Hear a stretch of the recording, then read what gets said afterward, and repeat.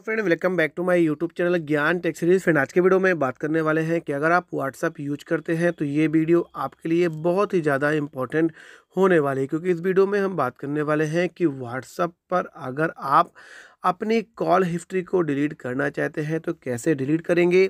आज के इस वीडियो में आपको यही बताने वाला हूँ। बस आपसे रिक्वेस्ट है वीडियो को पूरा देखें, तभी आप सही तरीके से अपने व्हाट्सअप की कॉल हिस्ट्री को डिलीट कर पाएँगे। तो फ्रेंड चलिए वीडियो को स्टार्ट करते हैं।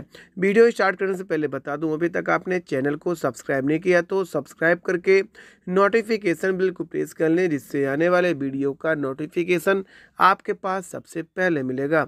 व्हाट्सअप की कॉल हिस्ट्री को डिलीट करने के लिए आपको सबसे पहले व्हाट्सअप ऐप को ओपन करना है। ओपन करने के बाद ऊपर चैट स्टेटस एंड कॉल पर जाना है।